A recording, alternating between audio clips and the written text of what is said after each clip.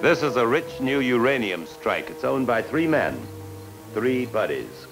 Just a few weeks ago, they heard a sound from this little gadget, the Geiger counter, that was sweeter to their ears than a chorus of angels' voices. They'd found the treasure at the end of the rainbow. At first, there was great joy, and then greed. Their friendship changed to frenzy, a greedy frenzy, which sometimes leads to murder.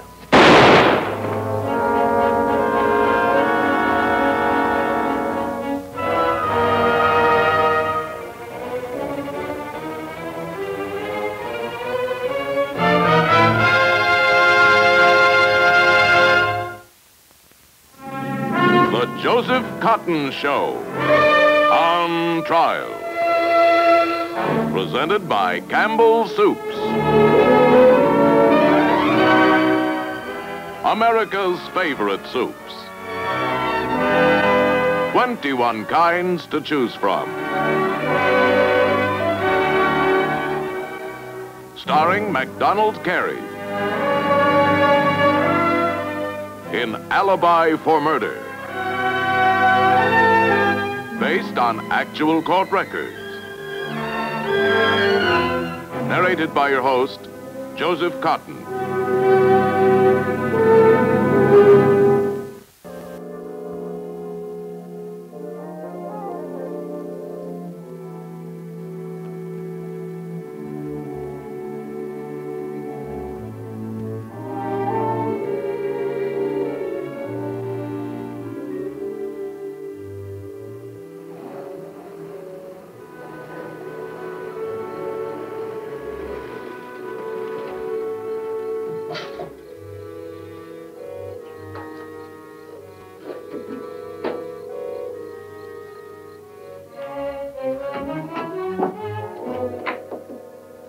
Heard a shot. What's going on?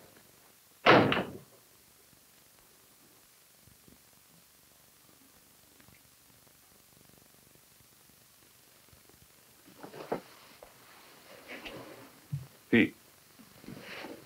Pete.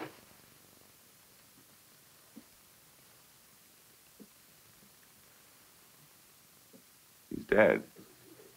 I didn't do it, Mike. So help me. What happened, Harry? Well, well, I don't know. But I didn't do it, Mike. I swear it.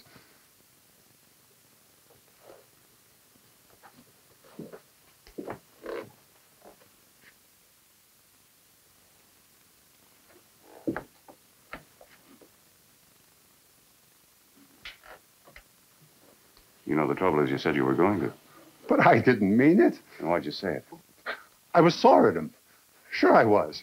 He accused me of dogging it. Me. He was ready to quit a month ago. I, I said, work the other side of the mountain. Who dug the hole? Who smashed up all those rocks? Me. And to have him... Only I didn't kill him. All right, Harry. Tell me what happened. I already told Tell you. Tell me exactly what happened. Well, I, I was outside and I, I heard a shot. It took me a minute to figure out where it came from. Then I came in and I saw him. And you picked up the gun. Yes. But I don't know why. Then I looked at him and he was dead. And then you got here. What were you doing outside in the middle of the night? I was listening to the counter. I don't buy that. We'd already tested that ore. No reason to keep on testing it. I wasn't testing, I was just listening to it. For what? I like to listen to it. You what? Yes. Look, we worked hard. I put everything I had into this. And when that counter clicks, it's, it's saying that we brought it off. You made it, Harry. That's what it's saying. You're rich, Harry. You're rich. You're rich. Maybe I can't quite believe it. Maybe that's why I like to listen to it.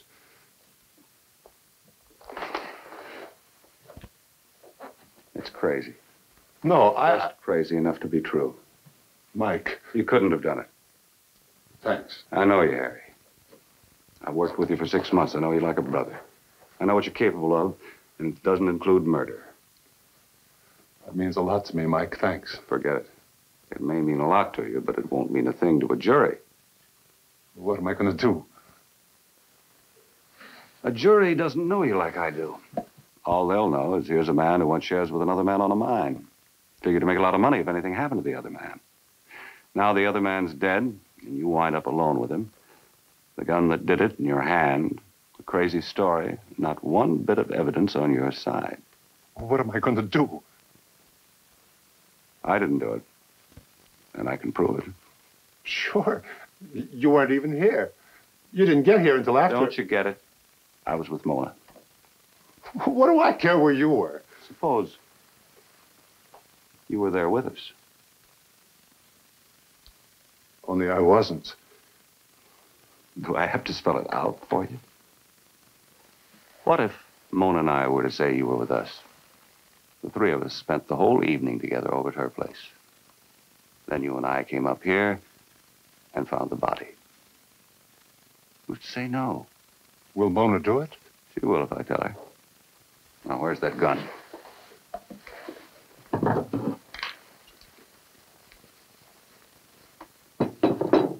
Just forget you ever touched that. I'll go get the sheriff. I'll stop in on the way and fill Mona in. Mike. I. I don't know what to say. Don't say anything then.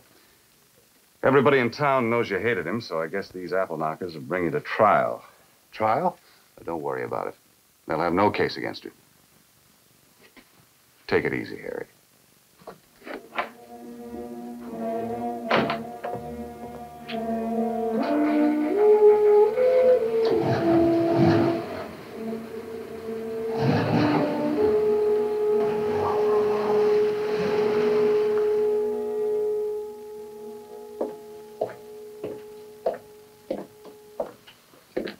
About 10 minutes before court convenes, Mr. Grayson. We'll be there. Oh, thank you, Sheriff. Okay. If you fellows have anything more to tell me, now's the time. Harry, I'm going to give you the best defense I can. People around here say that's pretty fair. But I've got to know where I stand. Well, we told you. I thought maybe you might want to change something. We don't. All right? I don't think they got much of a case. They got no case at all. Maybe not. But remember, Lou Benson's going to prosecute this case, and he's had shoes on before.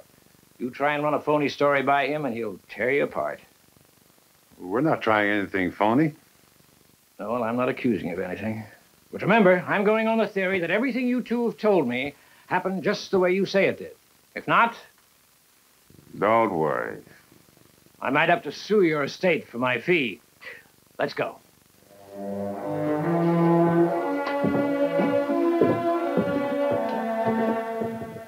And so the trial of Harry Woods for the murder of Pete Harrison began. As the state's case ended, it was apparent that the verdict would turn on the question of opportunity. Was it physically possible for Harry Woods to have committed the crime? The evidence was sufficient to indicate that he had. Thank you. That's all. Your witness. No questions. Call Mona Hayes. Mona Hayes.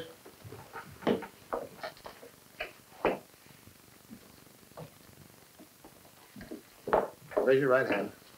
You solemnly swear the testimony you're to give in this court will be the truth, the whole truth, nothing but the true self you got. I do. Be seated. Miss Hayes, how far is your home from the cabin in which the crime occurred? About a half a mile. I see.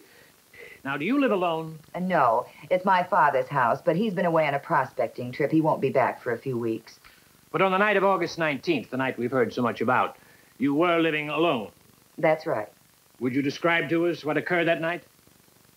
Two men came over. We spent the evening playing cards and talking. Could you be a little bit more exact as to the time? When did they arrive? Well, it was still daylight when they got there, so it must have been around 8 o'clock How long did they stay? Until 11.15. How did you know it was that time? Well, they left after the 11 o'clock news. Well, how did you know it was the 11 o'clock news? The announcer said 11 o'clock and time for the news. I assumed it was the 11 o'clock news. Now, who were these men? Mike Flynn and Harry Woods. Would you point them out to us, please? Yes, that's uh, Mike Flynn over there. And Harry Woods. Meaning, of course, the defendant. That's right. Now, these two men were with you on August 19th from before 8 o'clock until after 11. Is that correct? Yes, sir, that's right. Thank you. You may examine.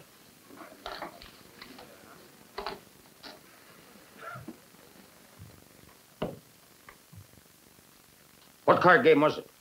I beg your pardon. We you played cards for three hours, the three of you. What game did you play? Oh, I'm sorry. I didn't quite understand. We played casino. Oh, yes. Yes, that's the game where the Ten of Hearts is called. it's just called the Ten of Hearts. The Ten of Diamonds is called Big Casino. Do you realize that while you were playing casino, Pete Harrison was being killed? Yes. Objection, Your Honor. That's completely irrelevant. Well, she was sitting here all the time. She knows that. Well, if she knows, what's the sense of asking her? Objection sustained. Uh, Miss Hayes, uh, did you get them anything to eat that night? I served coffee and cake. At what time? I don't know about two. Ten thirty, I guess. And of course, you uh, went into the kitchen to make the coffee And to cut the cake. and to cut the cake. How long were you in the kitchen? Oh, about twenty minutes, I guess. Long enough for. They were with me. What?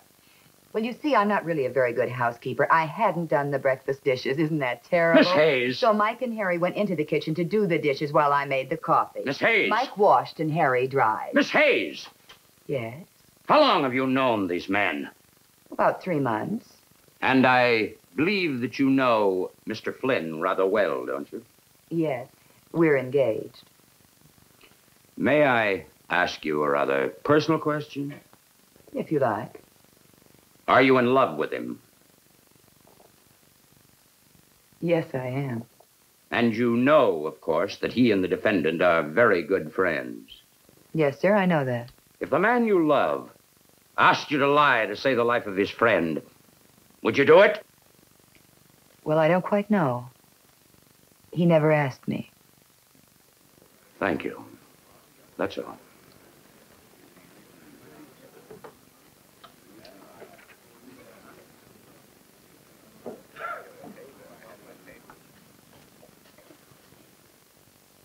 Then what happened? Well, uh, as soon as the news was over, I was feeling kind of tired, so I said, let's go. So we went, Harry and me. Where did you go? Back to the cabin. Both of you? That's right. Well, how did you go? Same way we came, in the Jeep. Was there only one Jeep? That's right. Well, what happened when you got back to the cabin? Well, we we found Pete Harrison's body there. Which one of you found the body? We both did. Well, that is, uh, we both went into the cabin together.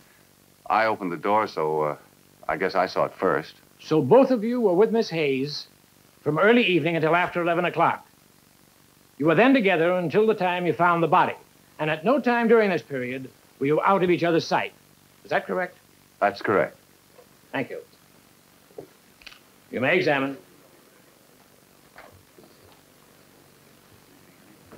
Uh, Mr. Flynn, uh, you had been to see Miss Hayes uh, many times before, hadn't you? Yes, sir, many times. And she was your fiancée, isn't she? That's right, sir. Had you ever taken anyone with you before when you went to call on her? Uh, no. Uh, well, you know how it is. yes, I know how it is, all right. I was young once myself. That's what's bothering me. Sir? When I was courting my wife, I never took anyone else along, not even my best friend. Oh. Why did you take Harry Woods with you this time? Well, I wasn't really crazy about the idea. He'd been getting kind of nervous and jumpy, you know. I didn't want to.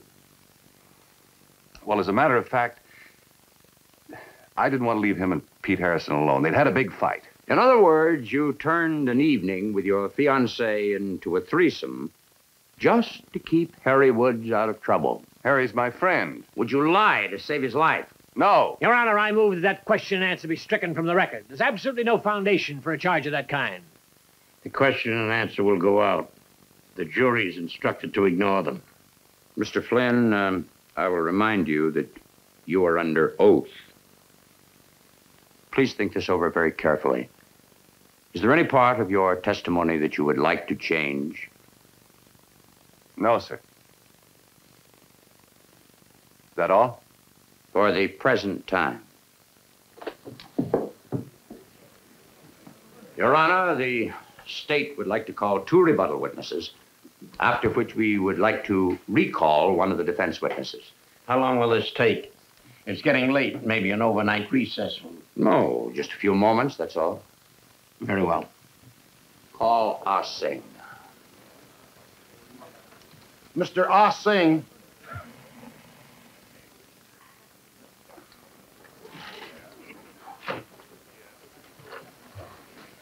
Mr. Ah Sing, would you come out, please?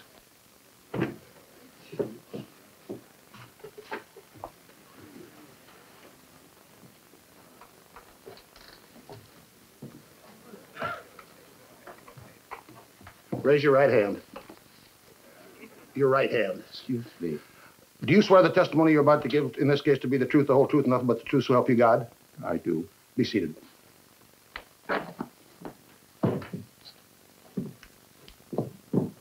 State your name and address.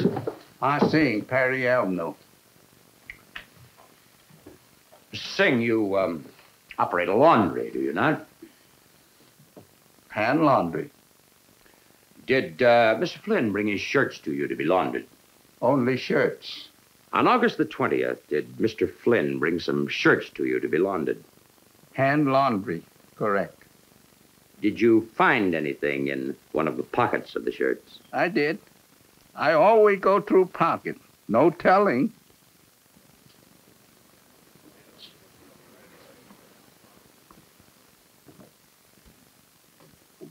Is this what you found? Correct. Your Honor, may I have these tickets marked? Mark them.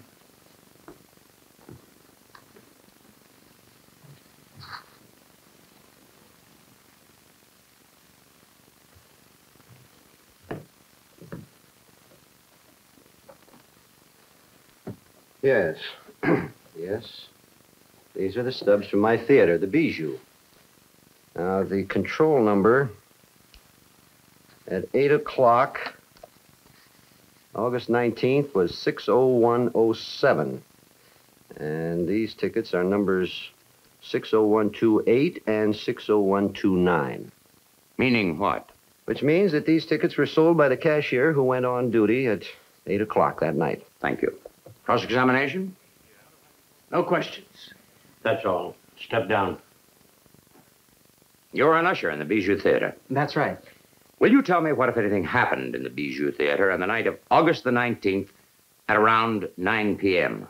Well, sir, there was a complaint about a fellow smoking in the orchestra. Well, that's not allowed, so I went there and told him so. And he stopped. Hmm. That was all. Was he alone? No, sir, there was a girl with him. They were sitting in the back row all by themselves. Would you recognize them if you saw them again? You bet. I turned my flashlight right on them. Do you see them now? Sure. And there they are there. Those two. Thank you. Examine. No questions. That's all. Step down. Recall Mike Flynn.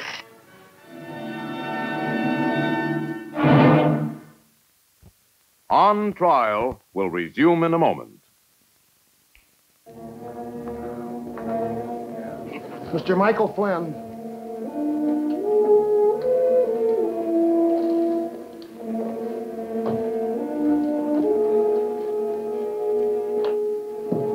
You're still under oath, Mr. Flynn. I will ask you again. Where were you on the night of August the 19th between the hours of 8 and 11 p.m.? At the movies. Well, speak up. Speak up. They can't hear you. I was at the movies. I said I was at the movies. Who was with you? Mona Hayes. Anyone else? No.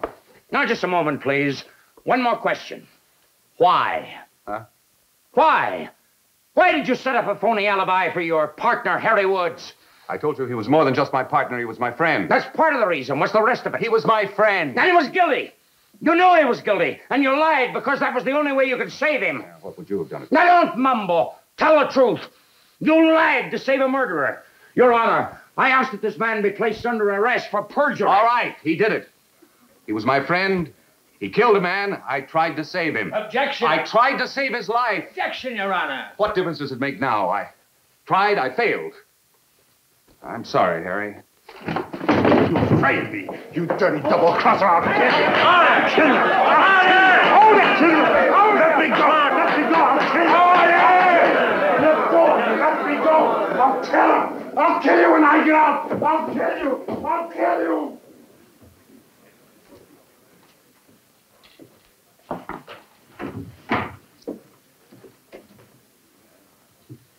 Mr. Grayson, do you wish to cross-examine? No, Your Honor. But I most respectfully direct the court's attention to the fact that the testimony given by this witness is in direct contradiction to the evidence he already gave. Quite so. And I direct that he be held for trial on the charge of perjury, and that his bail be set to the amount of a thousand dollars. Take him away. All right, come on. Will you sum up for the state, Mr. Benson? Yes, Your Honor.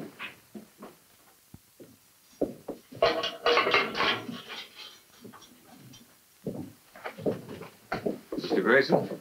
Sheriff? Put on your jacket and get going. I'm free? For the time being. Your girlfriend made bail for you. But you'll be back. I figure you'll do six months for all the lying you did. Yeah. Look, I'm sorry for what I did. We should have listened to you. What are you doing? Looks like I'm running fresh out of prisoners. Juries are funny things, Mike. What are you talking about? Well, they really never had any case against Harry. It was that alibi falling apart that made it look bad. I told the jury even without that alibi, the state hadn't proved anything. Oh, his friend tried to help him, told a lie. That didn't make him guilty. They freed him, Mike. You're both free.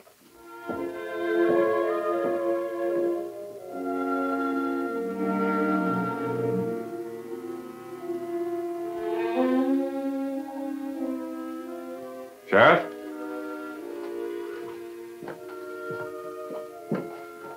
Look, Sheriff, I don't feel right about this. What do you mean? Well, it just doesn't seem right. Mona putting up the bail money. She'll have to pay the bondsman. It's no way to start an engagement. She's already put up the bail. Court's closed. No, it's not right. I can see how you feel, but you can't do anything till morning. In the morning? Court opens at 10. See the clerk. Tell him you don't want bail. He'll put you back in my hotel and refund the bond. Only cost your girlfriend a few dollars. I'll take care of it for you. But come on, get out of here. You can't stay here. Look, I can't go. He'll kill me. Who will? Harry, you saw what happened in the courtroom. He thinks I framed him. I thought you said he did it. Well, I thought he did. The gun was in his hand. Well, how can he think you framed him? Come on now, you two out of here. I have no right to have visitors this time of night. No, he'll kill me. I know he will. Well, Why? You thought he killed Harrison? He tried to help you? No. come on out now.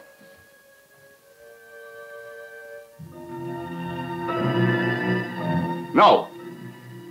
He knows I tried to frame him. How could he know that? He didn't kill Harrison. Well, the jury didn't think he did either. I know he didn't. How can you know that? I know that's all. I know. How? Come on, out. He wasn't even there. Then what happened?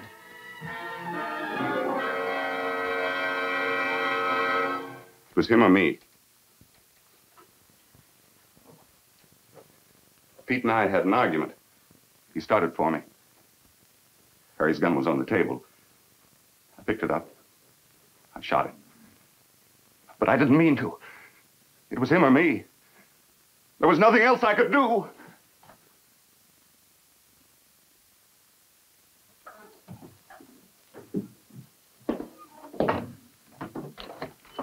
All right, bring him in. All right, Harry. He's just confessed. Take the hardware off him, Joe.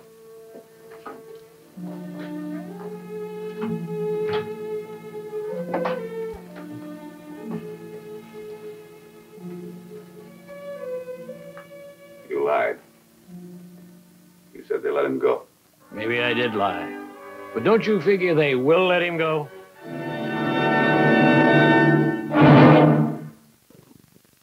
Charge of murder against Harry Woods was dismissed on the basis of an affidavit by his lawyer and the sheriff. Mike Flynn was tried for the crime.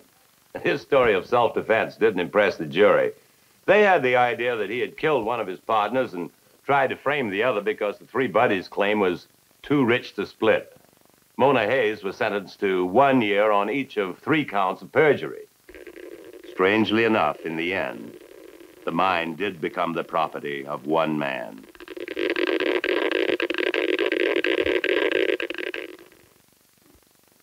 Next week, we'll show you how to declare a man legally dead and what can happen when a stranger suspects murder has been done but can't prove a thing. I am weirdly involved in this modern true ghost story, and you're warmly invited to suffer with me in the case of the absent man next week.